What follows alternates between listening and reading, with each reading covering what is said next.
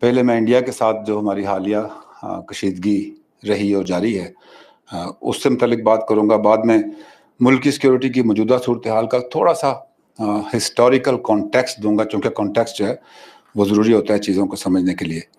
پھر آپریشن رد الفساد کی کچھ پروگرس اور اس کے علاوہ چند متفرق باتیں اور آخر پہ آپ سے میں آپ کے سوال لوں گا۔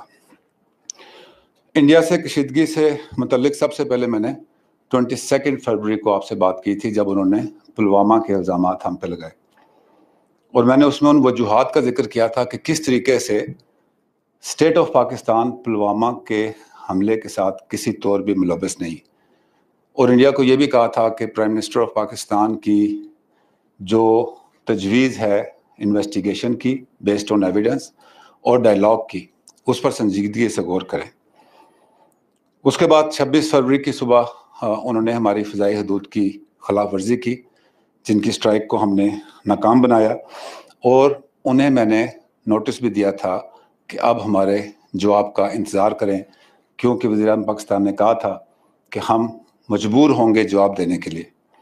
اور پھر ٹوئنٹی سیون فروری کو اللہ کے فضل و کرم سے بھرپور جواب دینے کے بعد، ان کے دو جہاز گرانے اور ایک پائلٹ کو گرفتار کرنے کے بعد، اس کے اوپر میں نے آپ سے بات چیت کی اور تفصیلات بتائی تھی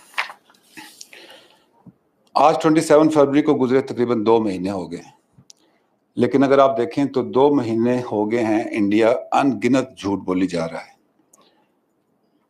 ہم نے ایک ذمہ دار ملک کا ثبوت دیتے ہوئے ان کی لفظی اشتعال انگیزی کا بھی جواب نہیں دیا۔ یہ نہیں کہ ہم جواب دے نہیں سکتے، وہ جھوٹ بولے، ہم اس کے جھوٹ کا جواب دیں۔ جھوٹ کو سچ کرنے کے لیے بار بار جھوٹ بولنا پڑتا ہے، سچ ایک دفعہ بولا جاتا ہے۔ تو ہم نے ان کے، ان جھوٹوں کا بھی جواب نہیں دیا اور ذمہ دار رہے۔ اسی لیے ان کو بار بار جھوٹ بولنا پڑ رہا ہے۔ حقیقت کیا ہے؟ حقیقت یہ تھی کہ پلوامہ میں ایک واقعہ ہوا اور یہ کوئی پہلا واقعہ نہیں تھا پلوامہ میں جو پولیس کے خلاف اس قسم کے اٹیک ہیں۔ وہ پچھلے تین چار سال سے جاری ہیں۔ اسی قسم کے واقعات اسی پولیس کے خلاف ایک لوکل ریئیکشن کے طور پر پہلے بھی ہوتے رہے۔ اور ہم نے کہا کہ اگر آپ کے پاس کوئی ثبوت ہے تو وہ پیش کریں۔ ہم نے آپ کی ایئر اسٹرائک ناکام بنائی۔ نہ ہماری طرف کوئی جانی نقصان ہوا، نہ کوئی انفراسٹرکچر کو ڈیمیج کیا گیا، نہ صرف لوکل میڈیا نے جا کے دیکھا، جب فورن میڈیا گیا تو ان کو بھی ہم نے جا کے دکھایا۔ بلکہ میں نے فورن میڈیا سے کہا کہ آپ چونکہ انڈیا سے آئے ہیں، آپ نے ادھر جانا ہے۔ تو ان سے کہیں کہ ایک دفعہ وہ جو کہتے ہیں نا جی پہلے انہوں نے کہا کہ ہم نے اس انفراسٹرکچر کو گرا دیا، تین سو جو ہے ٹیررسٹ مار دیے۔ بعد میں انہوں نے کہا، نہیں جی ہم نے کوئی ایسا میزائل مارا تھا جو چھوٹا سا سراخ کر کے چھت سے اندر گیا اور پھر اندر جا کے ایکسپلوڈ ہوا۔ تو میں نے اس فورن میڈیا سے کہا کہ آپ پلیز واپس جائیں۔ انڈیا سے کہیں کہ ایک دفعہ اس کا ڈیمونسٹریشن دے دیں لائیو ٹیلی کاسٹ کر دیں، اگر وہاں ہو گیا تو ہم اس کو مان لیں گے۔ تو اس قسم کے جھوٹ جو ہے وہ بولتے رہے۔ اور اگر آپ کو ابھی بھی تسلی نہیں ہوئی، تو آپ اپنا میڈیا پاکستان بھیج دیں، میں ان کو بھی فیسیلیٹیٹ کروں گا کہ جائیں اور جا کے دیکھیں کہ وہاں پہ کہاں انہوں نے اسٹرائک کی اور کیا اس کا رزلٹ ہوا؟ آپ کے دو جہاز ہماری ایئر فورس نے گرائے اور دونوں کا ملبہ پوری دنیا نے زمین پہ دیکھا۔ آپ کی ایئر فورس نے اپنا ہی ایم آئی سیونٹین ہماری ایئر فورس کے ڈر سے گرا دیا۔ اس کا بلیک باکس بھی آپ نے گم کر دیا اور اس کی انکوائری بٹنڈا کے روٹ سے ڈال دی کہ جب الیکشن ختم ہو جائیں گے تو اس کا نتیجہ آ جائے گا۔ تو جھوٹ کی کوئی حد نہیں ہے۔ اس کے جواب میں انہوں نے جو بعد میں سٹوری بنائی کہ جی پائلٹ جو تھے، پہلے D G I S P R نے دو بتائے تھے، پھر ایک ہو گیا۔ تو وہ جو ایک پائلٹ تھا، وہ پاکستان کے ایف سکسٹین کا تھا۔ دیکھیں، جب جنگ ہو رہی ہوتی ہے، اس قسم کی ایئر بیٹل ہو رہی ہے، تو زمین سے آپ کو انفارمیشن آ رہی ہوتی ہے۔ لیٹ سے یہاں پہ ہم کھڑے ہیں اور آپ دیکھ رہے ہیں اوپر کہ جی ایئر بیٹل چل رہی ہے، دو جہاز ہٹ ہو گئے ہیں۔ تو آپ کو ایک پائلٹ نے انجیکٹ کیا، تو میں یہاں کھڑا ہوں، مجھے ایک پائلٹ نظر آ رہا ہے۔ آپ وہاں کھڑے ہیں، آپ کو ایک پائلٹ نظر آ رہا ہے۔ آپ اپنی چین میں رپورٹ دیتے ہیں کہ سر ہمارے علاقے میں ایک پائلٹ جو ہے وہ جہاز سے پیراشوٹ کے ذریعے ایگزٹ کیا اور وہ نظر آ رہا ہے۔ تو اس طریقے سے آپ کو انفارمیشن آ رہی ہوتی۔ جب میں نے پریس کانفرنس کے لیے آنا تھا، تو ٹویٹ میں میں نے ایک پائلٹ کہا تھا اور جو رپورٹس آ رہی تھی کہ سر ہم نے ایک پائلٹ کو دیکھا ہے، تو ان رپورٹس کی بنیاد پر مجھے یہ تھا جی کہ ہو سکتا ہے کہ اور بھی پائلٹ کیونکہ دو جہاز گرے تو میں نے came for the press conference تو وہاں میں نے ذکر کیا کہ دو پائلٹ جب میں واپس گیا اس وقت تک رپورٹ جو ہے وہ کلیئر ہو چکی تھی۔ تو آئی میڈ آؤٹ کہ ایک ہی پائلٹ تھا۔ وہ دو مختلف لوکیشن سے رپورٹ ہوا کہ سر پائلٹ گرتا ہوا دیکھا ہے پائلٹ پکڑ لیا ہے۔ تو اگر ہم نے ایک پائلٹ اناؤنس کیا اور بعد میں اس کی میں نے کریکشن بھی کی، خود لکھ کے کی، تو آپ پہلی بات کو ہی مانتے ہیں۔ دوسری بات کو آپ لے کے بیٹھے ہوئے ابھی تک کہ جی دو پائلٹ بتائے تھے۔ تو ایک پائلٹ بھی تو میں نے بعد میں تصحیح کی۔ تو آپ کسی بھی سارے جھوٹ بولنے کی کوشش کرتے رہے، لیکن آپ کا کوئی جھوٹ ثابت نہیں ہوا۔ پھر آپ نے کہا جی آپ نے ہمارا ایف سکسٹین کرایا۔ آج کے دور میں کوئی بات چھپتی نہیں۔ ایف سکسٹین تو بہت بڑی چیز ہے، آج کل تو موٹر سائیکل لگ جائے تو اس کی خبر نہیں چھپتی۔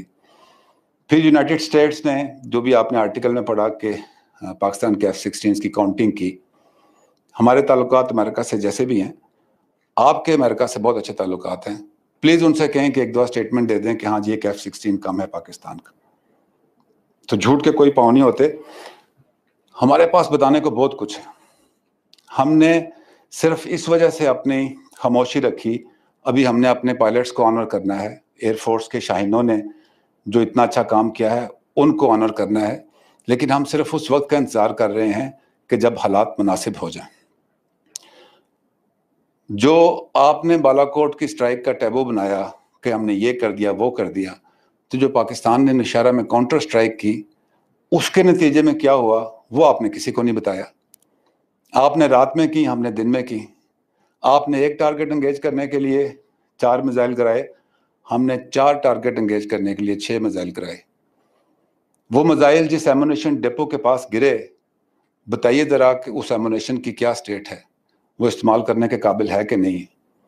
جس برگیڈ ہیڈ کوارٹر کے نزدیک ہماری سٹرائک گئی اور ہم نے جان بوجھ کر اس کو سیفٹی ڈسٹینس پہ فائر کیا، اس برگیڈ ہیڈ کوارٹر میں کون موجود تھا یہ بھی بتائیے۔ آپ کہہ رہے ہیں کہ بیہیویئر چینج کرنا ہے پاکستان کا۔ آپ تو نہیں کر سکے، لیکن ہمارے اچھے بیہیویئر کو دیکھتے ہوئے چلے یہ بھی اچھی بات ہے، کچھ کچھ چیزیں آپ نے اچھی کرنی شروع کر دی میں دیکھ رہا تھا کہ ہم نے بتایا کہ ہم نے برزل ٹاپ کھول دیا ہے۔ تو آپ نے دو دن بعد ضلع پاس کے اوپر فوٹویں کھلا کے کھڑے ہو کے کھچوائی اور وہ بھی لگا دی۔ ہم شہید آف دی ڈے دیتے ہیں، اپنے میڈیا پہ آپ نے بھی دینا شروع کر دیا۔ ہم بہت خوش ہیں۔ وہ مجھے گانا بھی یاد آ گیا جو کہ ہمارا گانا تھا، وہ آپ نے گانا بنا کے ڈال دیا۔ ہمیں ہمیں اچھا لگتا ہے کہ آپ ہماری اچھی باتیں اپنائیں۔ آپ کے بیہیویئر میں ہم نے چینج ڈال دی ہے۔ آپ جو بیہیویئر چینج ہمارے میں چاہتے ہیں، وہ کبھی نہیں ہو سکتا۔ اس کے علاوہ جب ٹوینٹی ٹوینٹی ایٹھ کو آپ میزائل فائر کرنے کی تیاری کر رہے تھے، تو آپ نے اس کی تیاری بھی دیکھی، جواب میں ہم نے کیا کیا؟ وہ بھی اپنے میڈیا کو بتائیے۔ اور اس رات لائن آف کنٹرول کے ساتھ کیا ہوا؟